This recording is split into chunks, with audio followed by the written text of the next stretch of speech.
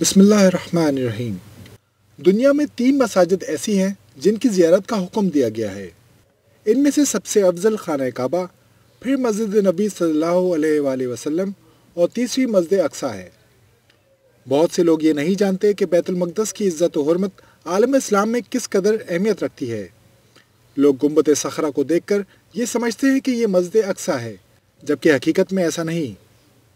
इस वीडियो में हम आपको बताएँगे कि मस्जिद अक्सा की तारीख क्या है और इस मुकदस शहर को तमाम मजाहब में इतनी अहमियत क्यों हासिल है। साथ ही हम आपको अलकुद शरीफ की तारीखी मकाम की सैर भी कराएँगे। लेकिन इससे पहले आप हमारे चैनल को सब्सक्राइब कर दें ताकि इस तरह की मालूमती वीडियोस आप तक पहुँचती रहें। बैतुलमक़दस मुसलमानों का किबला अव्वल और अम्बिया अकराम की सरजमीन। खाना काबा की तामीर के 40 साल बाद मस्जिद अक्सा तामीर हुई।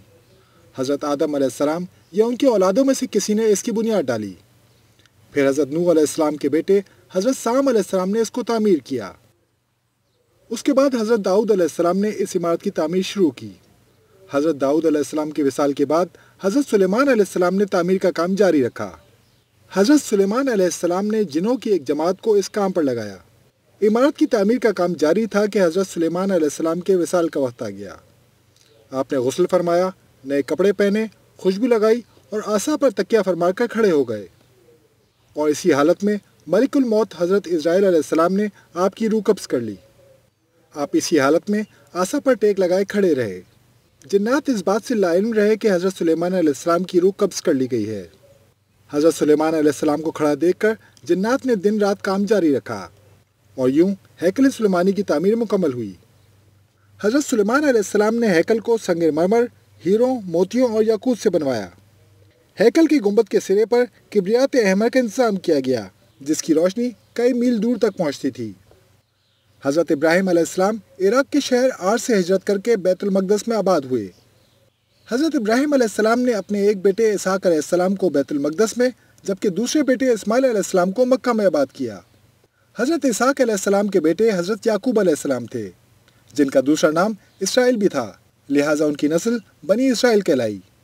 हज़रत याकूब, हज़रत यूसुफ, हज़रत दाऊद, हज़रत सुलेमान, हज़रत याया, हज़रत मूसम समेत बहुत से पैगम्बरों ने इस सरजमीन से तबलीग का काम शुरू किया। यही वजह है कि बैतुलमक़दस को पैगम्बरों की सरजमीन कहा जाता है। मराज के मौके पर रसूलुल्लाह सल्लल्लाहु अलैहि वसल्लम घर में आराम फरमा थे हज़रत जबरील नबी पाक सल्लल्लाहु अलैहि वसल्लम के पास तशरीफ़ लाए। फिर रसूलुल्लाह सल्लल्लाहु अलैहि वसल्लम बुर्राक पर सवार होकर बैतुलमक़दस पहुँचे। इस मुकाम पर रसूलुल्लाह सल्लल्लाहु ने अम्बी अकराम की इमामत फरमाई। इस मौके पर एक लाख चौबीस हज़ार अम्बिया अकराम बैतुलमक़दस में मौजूद थे। इसलिए कहा जा सकता है कि दुनिया की वाहिद मस्जिद है, जिसमें तमाम अम्बी अकराम ने नमाज़ अदा की हो। नमाज़ की अदायगी के बाद आप सल्लल्लाहु अलैहि वसल्लम इसी मुकाम से आसमानों के सफ़र पर तशरीफ़ ले गए थे। अल्लाह रब्बुल इज़्ज़त ने मराज के मौके पर नबी पाक सल्लल्लाहु अलैहि वसल्लम को पाँच नमाजों का तोहफा दिया। उसके बाद सोलह माह तक मुसलमान बैतुलमक़दस की जानब रुक करके नमाज़ अदा करते रहे। बैतुलमक़दस का शुमार दुनिया के कदीम तरीन शहरों में किया जाता है। रवायत के मुताबिक, ये शहर कम अज़ कम दो मरतबा मुकम्मल तौर पर तबाह होकर आबाद हुआ। तेईस मरतबा इसका मुहासरा किया गया और इस शहर में तकरीबन बावन हमलों का सामना किया। इस खून रेस तारीख के बावजूद, आज भी ये शहर पूरी ताबनाकी के साथ खड़ा है। पेचीदा तारीख और तल खाल के बावजूद सयाहों की बड़ी तादाद यहाँ आती है। ये दुनिया का वाहिद शहर है जिसे यहूदी, मसीही और मुसलमान तीनों मुकदस जानते हैं। यहूदियों का अकीदा है कि ये वो जगह है जहाँ से कायनात की तख्लीक हुई। और यहीं हज़रत इब्राहिम अलैहिस्सलाम ने अपने बेटे इसहाक अलैहिस्सलाम की कुर्बानी की तैयारी की।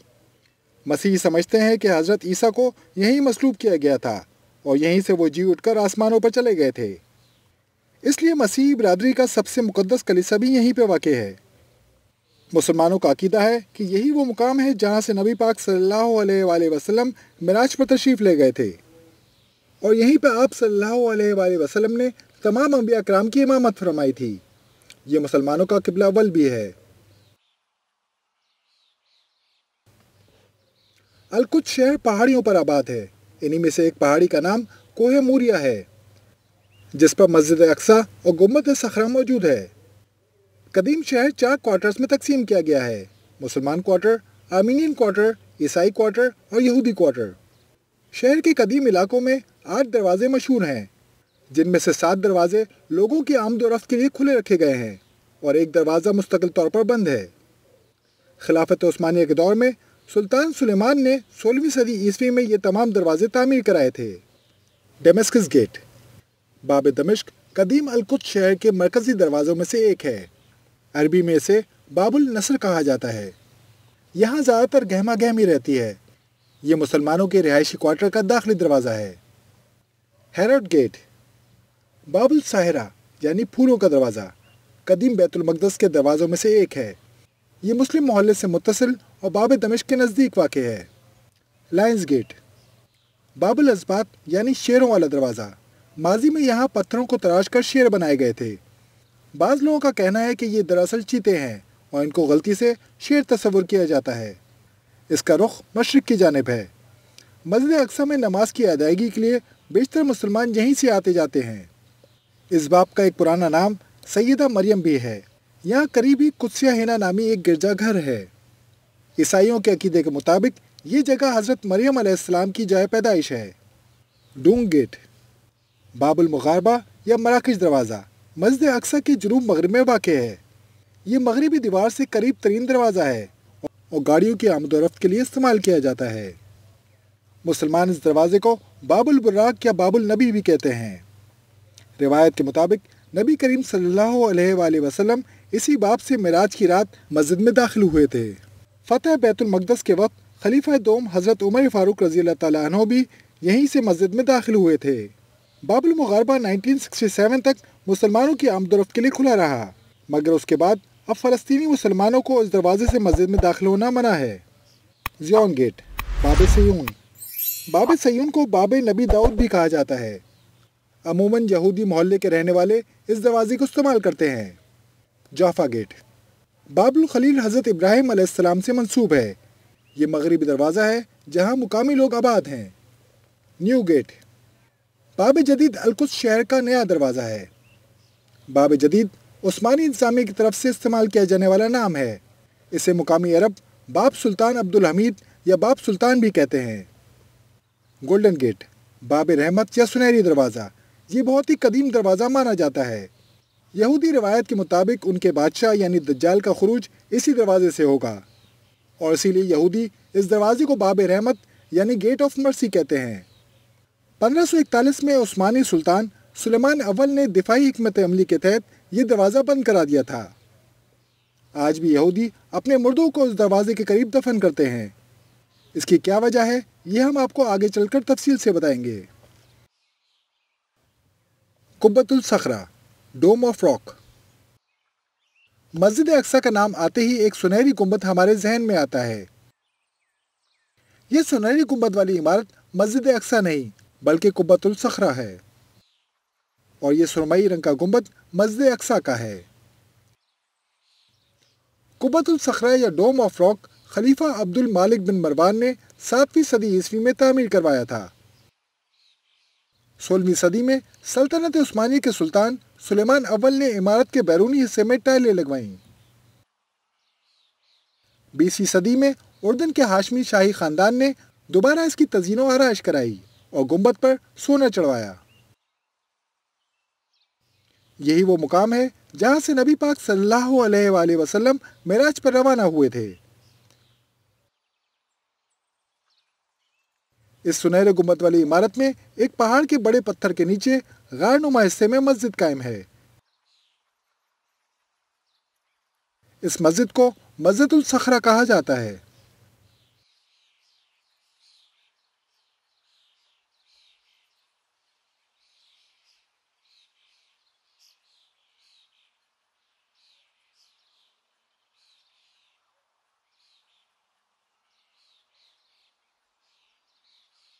इससे कुछ फासले पर मस्जिद अक्सा मौजूद है। मस्जिद अक्सा। कुबतुल सखरा के सामने टेंपल माउंट के जनूब में ये सुरमई गुमत वाली इमारत मस्जिद अक्सा की है। अलबत्ता मुसलमान इस पूरे अहाते को ही अल अक्सा कहते हैं। मस्जिद अक्सा बैतुल मकदस की सबसे बड़ी मस्जिद है। यहाँ पाँच हज़ार नमाजियों की गुंजाइश है। जबकि मस्जिद के सहन में भी हज़ारों अफराद नमाज़ अदा कर सकते हैं।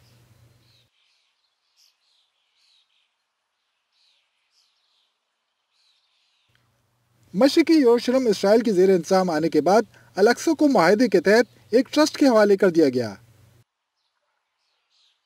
इस ट्रस्ट को उर्दन चलाता है। कुब्बतुल सखरा और मस्जिद अलक्सा दोनों इस ट्रस्ट के जेर इंतज़ाम आते हैं। इस अहाते में इसराइल की सिक्योरिटी फोर्सेस मौजूद रहती है। मस्जिद अक्सा में मसीहियों और यहूदियों को दाखिले की इजाज़त है, लेकिन माहदे के तहत सिर्फ़ मुसलमान ही इबादत कर सकते हैं। दीवार गिरिया वेस्टर्न वॉल मस्जिद अक्सा के अहाते के जुनूब में यह दीवार दीवार गिरिया कहलाती है। इस दीवार को अरबी में हतैल बुराक या दीवार बुराक कहा जाता है। अंग्रेज़ी में से वेस्टर्न वॉल कहा जाता है। यहूदियों की तारीखी रिवायत के मुताबिक, ये दीवार और इसके इर्द गिर्द की तामीरात बड़े टेंपल माउंट या हैकल सुलेमानी की बाकियात हैं। यहाँ यहूदी इबादत में मसरूफ रहते हैं और अपनी दुआएँ कागज़ पर लिखकर दीवार की दरारों में रख देते हैं। दीवार गिरिया क्योंकि मुसलमानों की तामीरात कुबतुल सखरा और मस्जिद अक्सा से मुंसलिक है। इसलिए दीवार पर अख्तियार और यहाँ रसाई के हवाले से अरबों और यहूदियों में तनाज़ात सामने आते रहते हैं। मस्जिद उमर बिन ख़त्ताब रज़ी तु मस्जिद उमर बिन ख़त्ताब रज़ी तु बैतुलमकदस में चर्च ऑफ़ हॉली स्पल्चर के जनूबी सैन के सामने वाक़ है। हज़रत उमर बिन ख़त्ताब रज़ी तु बैतुलमकदस फतह करने के बाद ईसाइयों की सबसे बड़े कलीसा कलीसा मकबरा मुकदस पहुँचे तो नमाज़ का वक्त हो गया। मसीही रूहानी पेशवा सोफर यूनुस ने हज़रत उमर को कलीसा में नमाज़ अदा करने की दावत दी। हज़रत उमर रज़ी तु ने कलीसा में नमाज़ अदा करने के बजाय एक पत्थर कलीसा के बाहर फेंका। जहाँ वो पत्थर गिरा, उस मुकाम पर आप रज़ी तु ने साहबा कराम के साथ नमाज़ अदा की।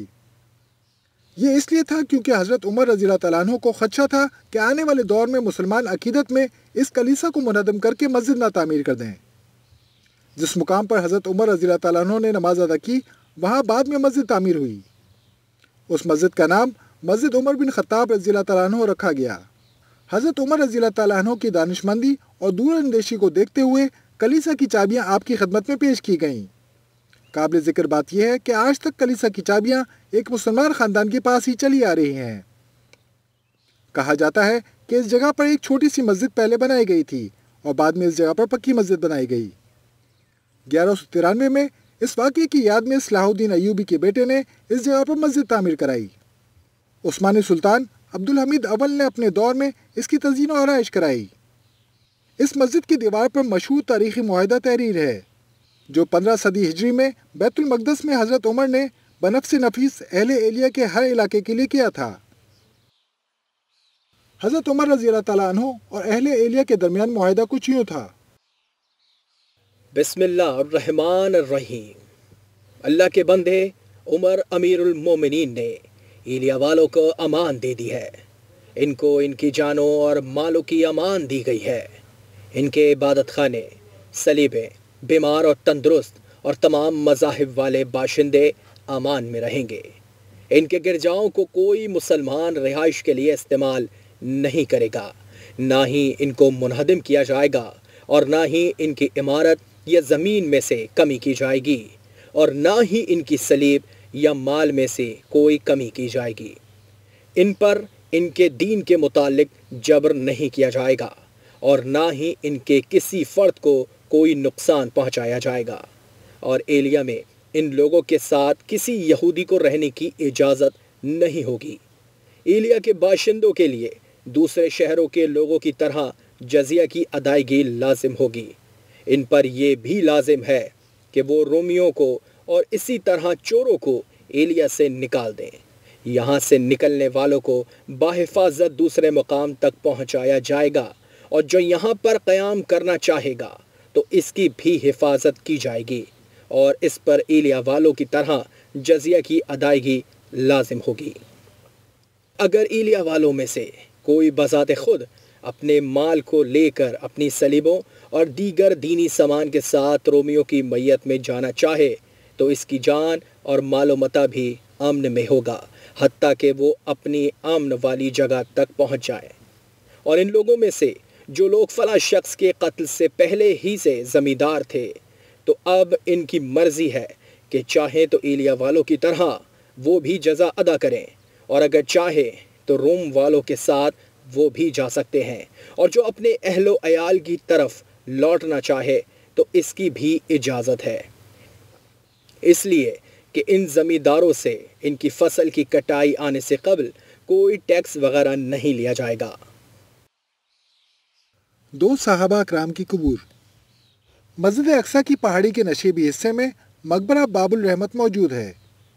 यहाँ दो साहबा कराम मतफन है। हज़रत शदाद बिन औस और हज़रत इबादा बिन समामत रज़ी अल्लाह तु हज़रत शदाद बिन औस रज़ी अल्लाह तु की विरादत मदीना मुनवरा में हुई। आपने अट्ठावन हिजरी में वफात पाई। हज़रत इबादा बिन समामत रज़ी अल्लाह तु अंसारी साहबी थे। हज़रत उमर रज़ी अल्लाह ने आपको शाम पर काजी मुकर किया था। आप रज़ी तु बैतुलमकदस के पहले काजी इस्लाम थे। आपने चौंतीस हिजरी में बहत्तर साल की उम्र में वफात पाई। कलीसा मकबर मुकद्दस। चर्च ऑफ़ हॉली स्पल्चर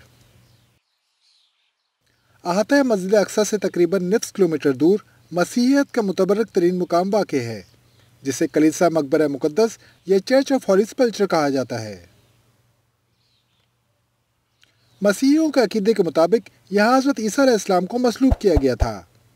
यही उनका खाली मकबरा है और यहीं से हज़रत ईसा को जी उठाया गया था। इस इमारत में तीन ईसाई मज़ारात वाक़ हैं। ये चर्च बैतुलमकदस के ईसाई क्वार्टर में मौजूद है। दुनिया भर से बड़ी तादाद में ईसाई बिरादरी इस चर्च की जियारत के लिए आती है। बहुत से लोग इसे दुनिया की सबसे मुकद्दस मसीही इबादतगाह समझते हैं। जबल जैतून, माउंट ऑफ़ ऑलिव्स।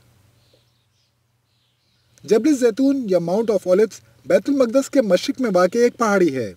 इसका नाम जबल जैतून इस नस्बत से पड़ा कि यहाँ किसी ज़माने में जैतून के दरख्त बड़ी तादाद में पाए जाते थे। जबल जैतून वो मुकाम है जो बैतुलमकदस शहर को सहरा यहूद से अलग करता है। जबल जैतून दुनिया भर में यहूदियों के बड़े कब्रस्तानों में से एक है। यहूदी यहाँ अपने मुर्दों को दफन करना एजाज समझते हैं।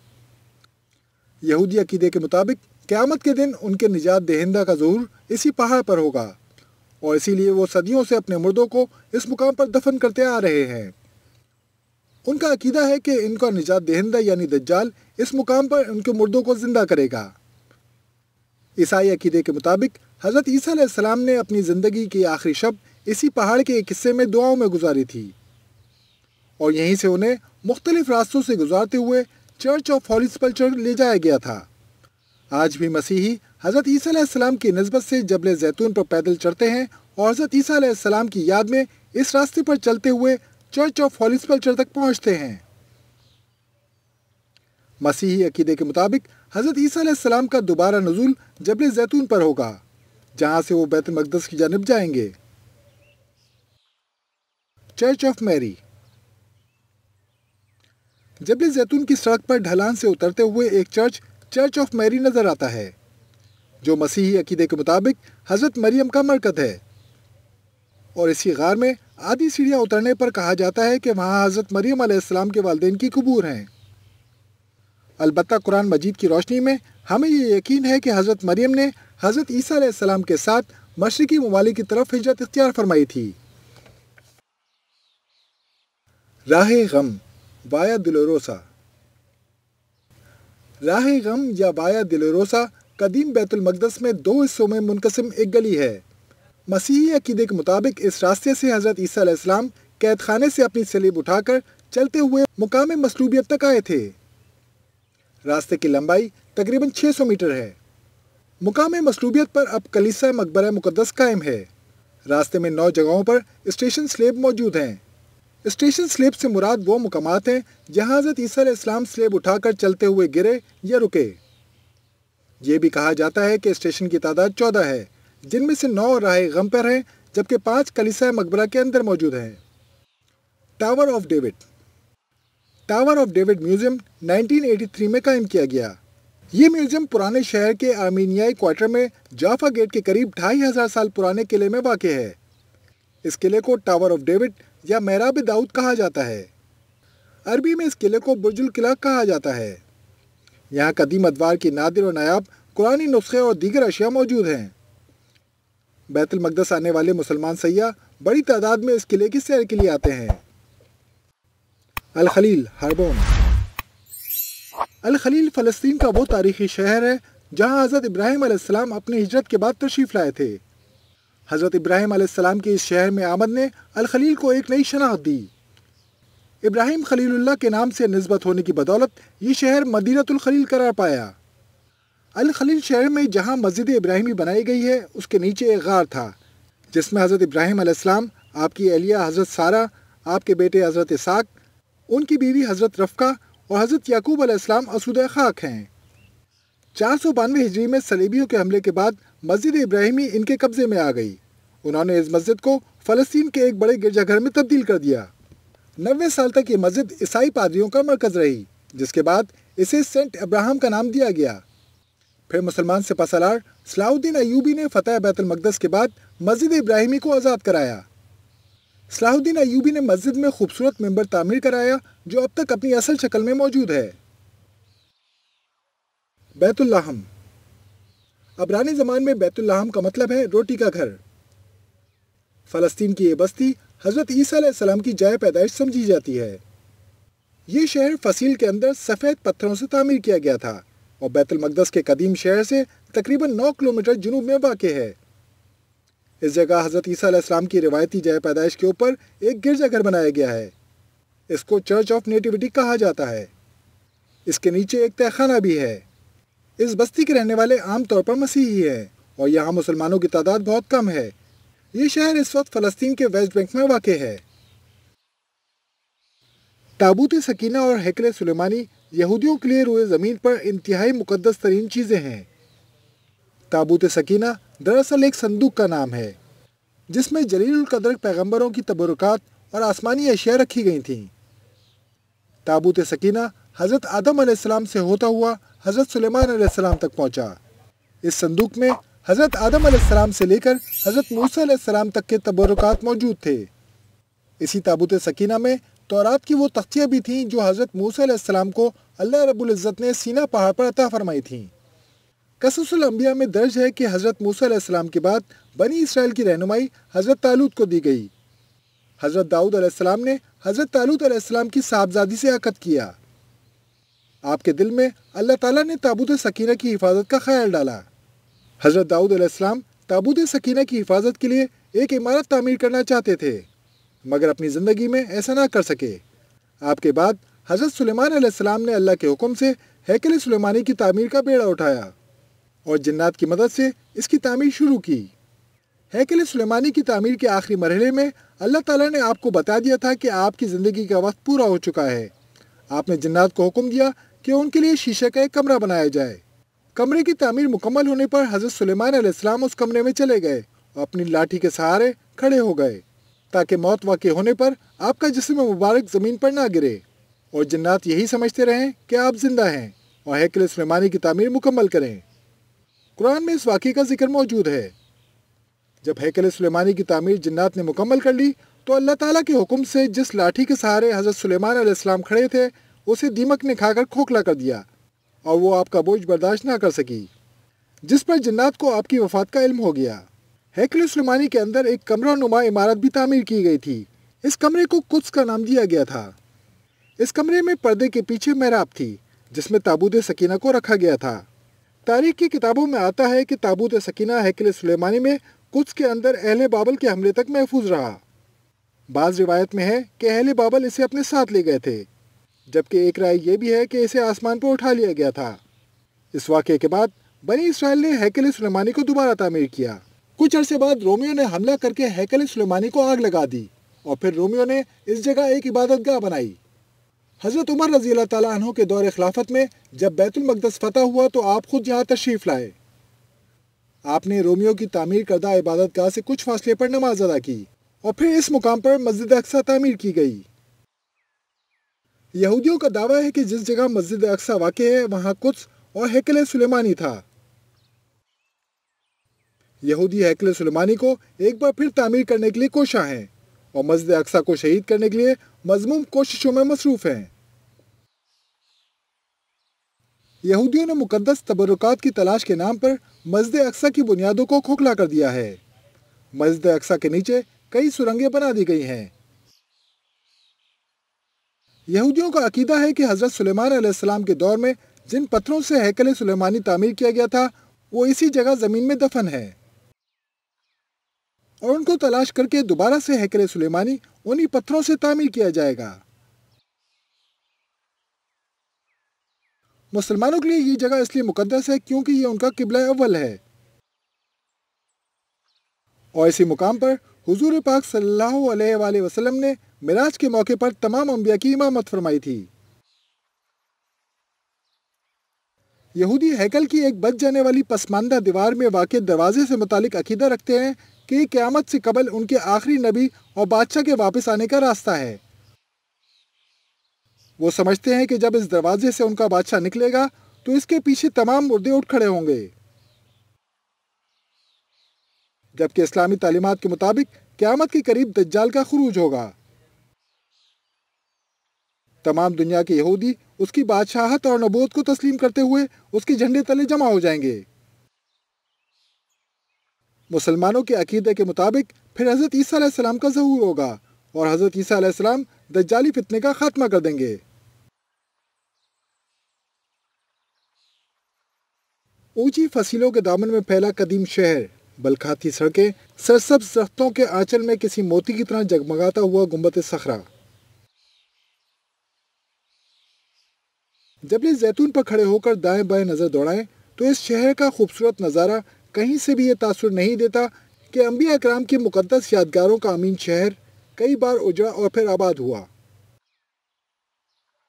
बैतुल मकदस का हाल भी उतना ही पेचीदा और खून आलूद है, जितना इस शहर की खाक और खून में लथरी तारीख। अलकुत्स की गलियों में चहलकदमी करते हुए ऐसा महसूस होता है कि यहाँ वक्त थम सा गया है। कदीम दौर की इमारतें सदियों पुराना तर्ज तामीर पत्थरों से बने घर, सड़कें और इन सड़कों पर मुख्तलिफ़ मजाहब के लोगों की आमदोरफ़्त तेज़ी से बदलती हुई दुनिया में ये खत्ता कदीम रिवायतों को अपने दामन में समोए हुए है।